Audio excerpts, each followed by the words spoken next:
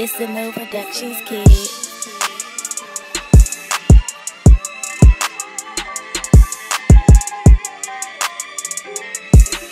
Don't act like you don't know. It's the no on the track.